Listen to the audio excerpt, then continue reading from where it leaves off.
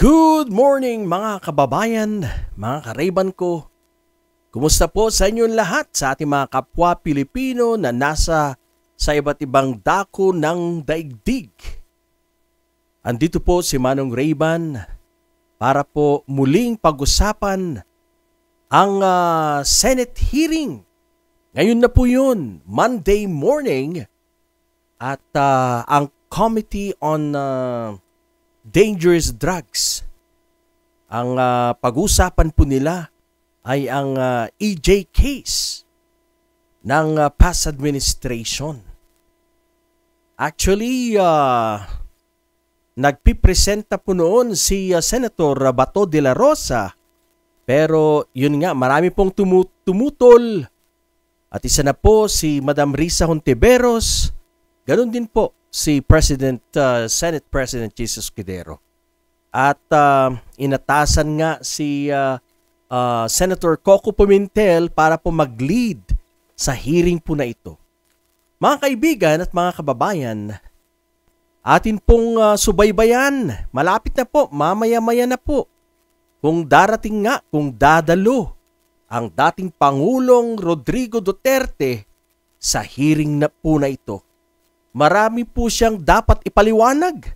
Dapat po siyang magpakita.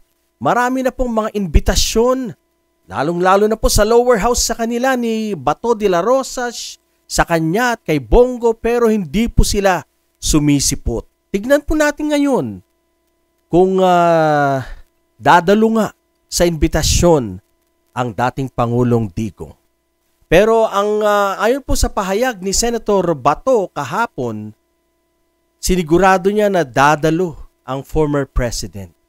Dapat lang, dapat lang na dumalo dahil marami po siyang dapat ipaliwanag sa mamamayang Pilipino. Yan. Alright mga kababayan, bago po ako magpatuloy, shoutout po sa inyo lahat sa aking mga um, viewers, sa aking mga subscribers and followers. Marami pong salamat sa mga bagong uh, subscribers po dyan I appreciate your support sa ating napakaliit na YouTube channel. Uh, marami pong salamat. Thank you po. Thank you. Sana po'y uh, nagugustuhan po ninyo ang, uh, ang ating mga contents na inilalabas. Alright, so yan nga po. This time hindi po sa Quadcom ngunit sa Senado. Inimbitahan ang dating Pangulo sa Senado dahil nagkaroon na rin nga po sila ng sariling hearing sa dangerous drugs. Dati po sa Quadcom lang po pero ngayon pati sa Senado na po. At si Senator Coco Pimentel ang uh, inatasang mag-lead sa investigasyon po na ito in aid of legislation. Mga kababayan, gaya po ng sinabi ko sa aking previous blog, makikita po natin, malalaman po natin kung si Senator uh, Coco Pimentel ay magiging patas at hindi po bias, ma- makikita po natin yan. We could uh, scrutinize him by uh, going over and watching the hearing. At uh, hindi po natin alam kung anong oras pero ang tabayanan po natin maaring alas 9 or alas 10 na umaga. Basta tutok lang po tayo sa Senate of the Philippines. Yan. Mga kababayan, um, sigurado na andyan po ang mga aso ng dating Pangulo. Ang aso na nagbabantay sa kanya.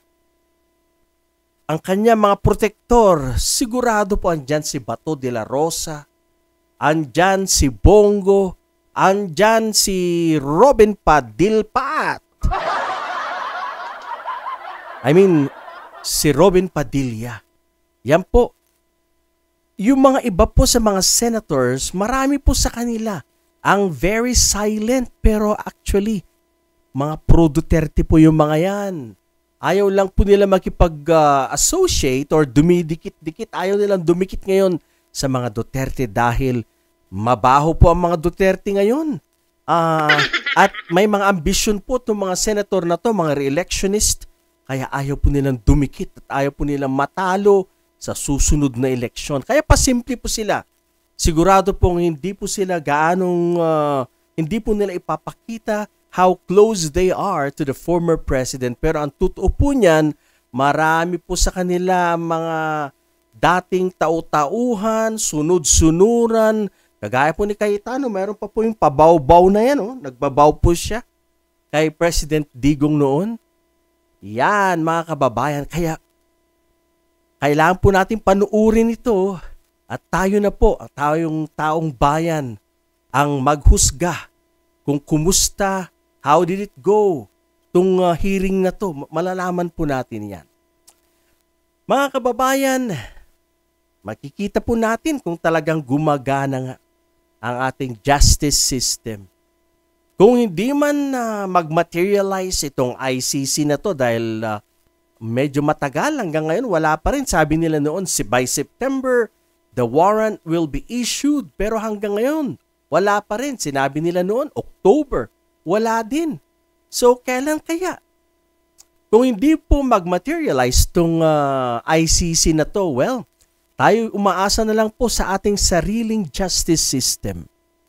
Tayo po yung nananalangin na sanay ang Marcos administration ay maging uh, seryoso sa kanilang uh, paghahabol sa mga salarin dito po sa Peking War on Drugs. Yan. So mga kababayan, reaction lang po natin ito, maigsing reaction.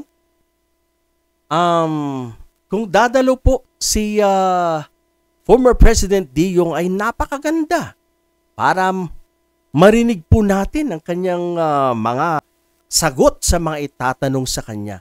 Gaya ng nasabi ko po, si Senator Risa Hontiveros lang ang legit dyan na interpellator. The rest hindi na po. Si Senator Risa lang po ang alam po, po nating merong hangad or gusto niyang malaman ang katotohanan, malaman ng buong sambayan ng Pilipino. Yan. Alam niyo mga kababayan, while I was uh, watching the news, nalaman ko din po na isa sa mga invited guest at resources speakers, ito pong si former Senator Leila De Lima. Napakaganda po. Ang muling pagtutuos, ang paghaharap ni Digong Duterte at Senator Leila De Lima. Mga kababayan, tingin po natin dyan ay talagang uh, haharapin ni former Senator De Lima ang kanyang nemesis na si former President Digo. At titignan niya eye to eye. Titignan niya sa mata ang taong nagpako sa kanya sa krus. Ang taong sumira sa kanyang buhay, siya'y nakulong ng almost seven years ito po ay pagtutuos, paghaharap muli ni former Senator De Lima at President Digong. Kaya napakaganda po itong mangyayari na to, itong Senate hearing na to. At alam po natin na merong paresback si Senator Leila De Lima. Alam ko po ng kanyang uh, team, sigurado po ito grupo po ng mga lawyers mga magagaling na abogado ay nag-isip na po or nag-iisip na mga bagay-bagay kung, kung ano ang kanila mga ikakaso kay former President Digong Duterte. Sigurado po yan. Sabi nga po ni uh, former Senator Leila de Lima noon, nung siya po ay nakalaya, sabi niya, I have forgiven them. Sila referring to Karen Espinosa and others. Pero sabi niya, pero hanggang ngayon hindi ko pa rin mapatawad si Digong Duterte. Yan po ang kanyang pinahayag. Kaya, mga kababayan, alam po nating mayroon pong paghihiganti itong si Madam uh, Leila de Lima. Kanya pong uh, ipaglalaban ang kanyang uh, nasirang pagkatao. At sigurado po, kakasuhan yan. Kakasuhan po ang former president. Maniwala po kayo sa akin o hindi. talagang kakasuhan niya. Kaya mainit po ito, maghanda na po tayo ng maraming popcorn at tayo po'y manunood sa hearing na to kung dadalo, kung lalaki nga ang former president. Kung hindi po dumalo at nag-alibay na naman ang dating Pangulo ay talagang uh, masasabi na pong umiiwas. Masasabi po nating takot. Masasabi na po nating mukhang guilty. Yan po. Kaya antabayanan po natin ang muling paghaharap ni Digong at Leila. My dear friends, maraming pong salamat sa inyong panunood. Atin pong subaybayan ito dahil napakahalaga po ito. Napakahalaga ang mangyayari ngayon sa Senado. Sana dumalo ang former president, ang dating Pangulo. Sana po mabigyan ng hustisya ang mga kawawang kapwa nating Pilipino na pinaslang noong panahon ng dating Pangulo. Sana po magkaroon po ng hustisya ang matagal nang pinagsisigawan ng mga pamilya ng biktima ng EJ case. Sana po finally makamit po nila ang katarungang ito. Mga kababayan, isa pong magandang umaga sa inyong lahat at tayo po'y pupwesto na sa pinakamagandang spot sa ating sala para hintayin panuurin ang Senate hearing na pangungunahan ni Senator Coco Pimentel. Alright mga kababayan, maraming pong salamat sa inyong panunood. Once again, maraming pong salamat sa aking mga subscribers and followers. Please subscribe po sa mga hindi pa po nakakapag-subscribe sa aking channel.